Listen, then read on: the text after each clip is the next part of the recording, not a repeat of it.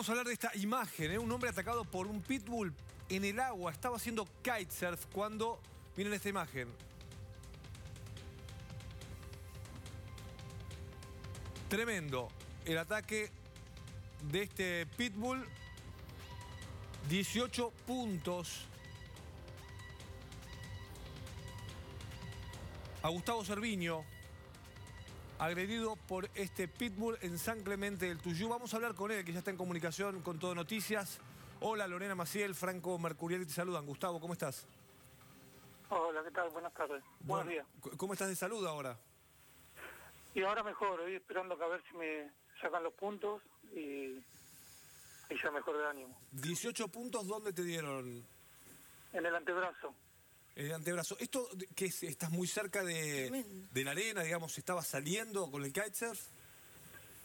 Sí, estaba cerca de la arena, ahí se navega, va- se hace mucho este deporte el kitesurf, me acerqué un poco a la orilla eh, y cuando salí el perro me empezó a perseguir, sentía los ladridos, pero la verdad que no le di mucha importancia porque nunca atacan tan tan tan feo. Siempre Claro. atacan, muerden, pero muy poco.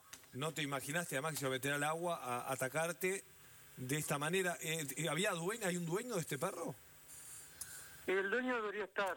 Lo que pasa es que no lo vi porque, como pude, cuando después que me saqué el perro, que no me largaba el brazo, eh, después que saqué, lo saqué al perro, vino un hombre, me ayudó un poco con el Sky porque estaba medio eh, con el Sky, tenía unas botas puestas, no podía moverme y el brazo sangrando.